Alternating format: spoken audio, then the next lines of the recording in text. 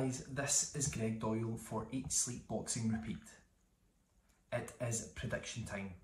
A fight I want to talk to you guys about takes place on Saturday, the 11th of June. It's the main event at the Wembley Arena as part of the Sky Sports Boxxer card. It's a cruiserweight contest and it is between Richard Riakporhe, who is 14 and 0, and he takes on Fabio Turchi, who is 20 and 1. Guys, first of all, I just want to say thank you so much for coming back and tuning into another video. In these videos, as always, I will give you a brief background into both fighters. I will give you my keys to victory, and finally, I will give you my prediction.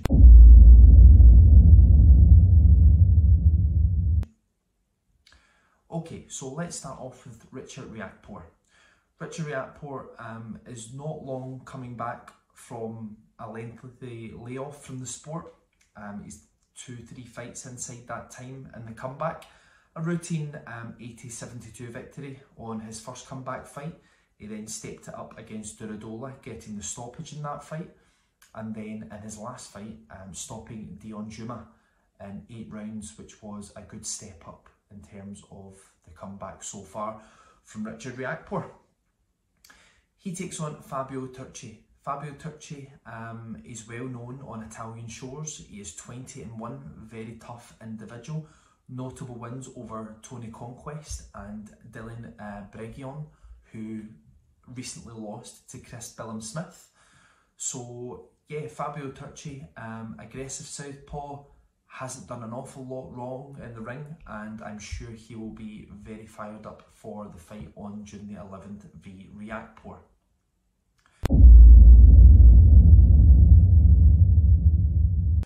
Guys, if I can move over and on to keys to victory. Keys to victory for me for Richard Riakporhe. He is fighting a southpaw. Everyone knows the toughest shot for a southpaw to handle is a straight right hand from an orthodox fighter. Um, if Richard Riakporhe can wait for Turchi to commit, I believe that he can land that right hand while he's coming in. As we know, if you're throwing a shot and someone's coming forward at the same time, it doubles the impact um, and I believe if he can time that correctly, he could get a, a, a fantastic and overwhelming stoppage in this fight. Keys to victory for Fabio Turchi, very different, but I believe that he's very capable of winning this fight. Fabio Turchi, for me, eh, you'll see Fabio Turchi, he'll come forward and he'll jangle that right hand out, trying to draw a lead so that he can lean back and come in with his own shots. I feel he needs to adopt that same tactic but also push Richard Riakporhe and make him work in the fight. His best chance of winning this fight is for Richard Riakporhe to get tired and then come on strong in the second half of the fight. But the first half of the fight is very, very important that he puts Riakporhe on the back foot and tries to entice him into throwing lots of shots. Um,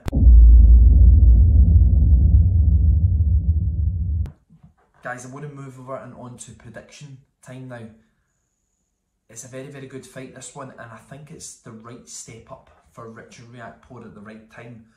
Going from Durodola to Deion Jumah to Fabio Turchi seems to be very good matchmaking in terms of they're all tough fights for different reasons. Durodola was a tough uh, second comeback fight, then on to Deion Jumah where it was a little bit of make or break because both guys had big ambitions to go on and win titles to now a man who is probably European title level, but it would not surprise you if in the future he got himself into a mandatory position, uh, position to fight for a world title.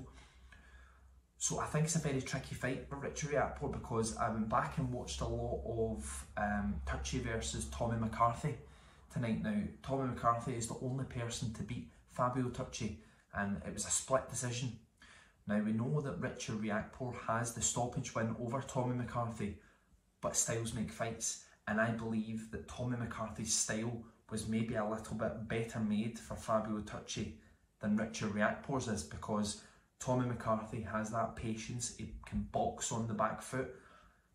Richard Riakporhe's strengths is coming forward, throwing a massive right hand and power shots.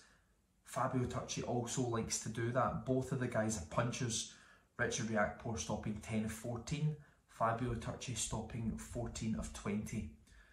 It's a very tricky fight for different reasons. I'm going to go with my gut instinct, and I think that Richard Riakporhe will get a knockout victory in this fight. Fabio Turchi has not been stopped before and hasn't really looked like he's going to be stopped either, so that's quite a big call to make on my behalf. But I just feel that Richard Riakporhe has to be patient for the first six rounds and try and draw the lead in with a jab and counter with the right hand. If he can do that, round about the middle stages to the second half of the fight, I can see him stopping Fabio Turchi, who is a very game and very worthy challenger to Richard Riakporhe, and it'll be a very tough night's work um, if either man has not got their game plan correctly on Saturday the 11th.